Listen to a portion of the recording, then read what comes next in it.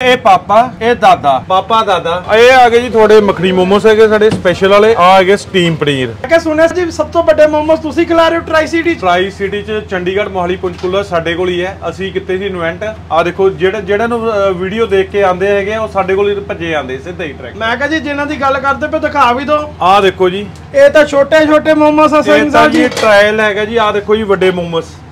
ਅਰੇ! ਆ ਇਹ ਆ ਇਹ ਮੋਮੋ ਦੇ ਪਾਪਾ ਦੇ ਪਾਪਾ। ਇੱਕ ਮਿੰਟ ਇੱਕ ਯਾਨੀ ਕਿ ਮਿੰਟ ਦਾਦਾ। ਪਹਿਲਾਂ ਛੋਟੇ ਦਿਖਾਈਓ ਇਹ ਇਹ ਪਾਪਾ ਇਹ ਦਾਦਾ ਦੁਆ ਤਾਂ ਬੋਲਣਾ ਜੀ ਪਾਪਾ ਦਾਦਾ ਪਾਪਾ ਦਾਦਾ ਇਕੱਠੇ ਰੱਖੇ ਆ ਦੇਖੋ ਜੀ ਹਾਂ ਜੀ ਬੱਚੇ ਬੱਚੇ ਹੋਰ ਜਗ੍ਹਾ ਦਿੱਤੇ ਹੋਏ ਆ ਜੀ ਉਹ ਵੇਚਣ ਵਾਸਤੇ ਠੀਕ ਹੈ ਅਭੀ ਬੱਚੀ ਦੇ ਉਹ ਦਾਦੇ ਪਰਦਾਦੇ ਵੀ ਕੱਢਣੇ ਹੁਣ ਠੀਕ ਹੈ क्या बात है जी हाँ। तो भाई साहब एक बार साइज चेक करना वैसे इनके नॉर्मल मोमोस भी मतलब अ, आप मार्केट से बड़े वाले ही हैं हाँ बस देखो ये अभी बंदा कोई सोच के आए भी यहाँ खाने जा रहे हैं तो ब- ਮੈਂ ਦਬਾ ਕੇ ਖਾ ਰਹੇ ਆ ਤਸੱਲੀ ਹੋ ਜੇ ਬਸ। ਫੀਲਿੰਗ ਕੀ ਕੀਤੀ ਜਾਂਦੀ ਹੈ ਇਹਦੇ ਵਿੱਚ? ਇੱਕ ਵਾਰ ਦਿਖਾਉਂਗੇ ਜੀ। ਫੀਲਿੰਗ ਦੇਖੋ ਇਹ ਚ ਇਹਦੇ ਵਿੱਚ ਤਾਂ ਹੈਗਾ ਵੈਜਿਸ ਇਹ ਨਹੀਂ ਹੈਗਾ ਵੀ ਇਹਦੇ ਮੈਦਾ ਹੈਗਾ। ਮੈਦਾ ਔਰ ਵੀਟ ਇਕੱਠਾ ਹੈਗਾ। ਬਾਕੀ ਇਹਦੇ ਵਿੱਚ ਜਿਹੜੀ ਸਟਫਿੰਗ ਹੈਗੀ ਉਹ ਸਾਡੀ ਹੈਗੀ ਜ਼ਿਆਦਾ ਹੈਗੀ ਹੈ। ਹੁਣ ਇਹ ਵਾਲਾ ਮੋਮੋਸ ਹੈਗਾ ਇਹ ਚ ਬਹੁਤ ਕੁਆਂਟੀਟੀ ਅੰਦਰ ਜਾਂ ਚੀਜ਼ ਪਨੀਰ ਪੁਲ ਕੀਤਾ ਹੋਇਆ ਹੈਗਾ ਜੀ।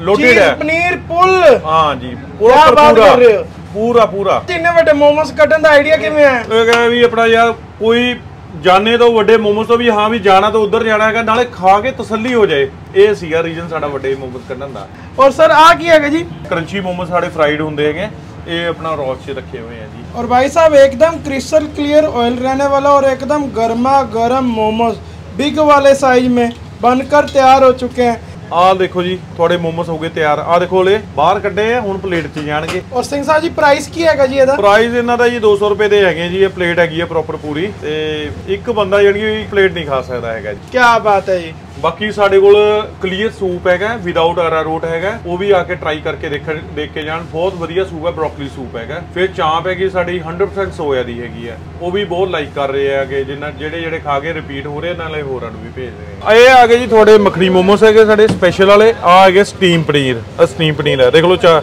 ਚਾਰ ਮੋਮੋਸ ਹੀ ਆ, ਦੇਖ ਲਓ ਪਲੇਟ ਦੇਖ ਲਓ।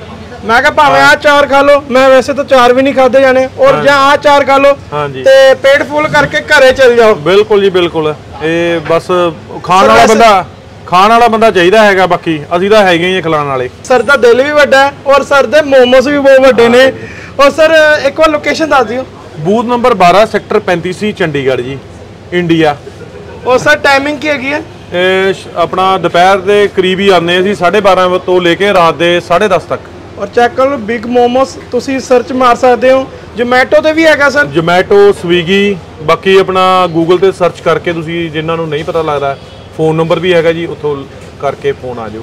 ਔਰ ਐਸੇ ਹਮ ਬੜੀਆ ਬੜੀਆ ਵੀਡੀਓ ਲੈ ਕੇ ਆਤੇ ਰਹੇਗੇ so tell then take good bye ਸਾਰਿਆਂ ਨੂੰ ਪਿਆਰ ਭਰੀ। ਸਤਿ ਸ੍ਰੀ ਅਕਾਲ। ਸਤਿ ਸ੍ਰੀ ਅਕਾਲ ਜੀ।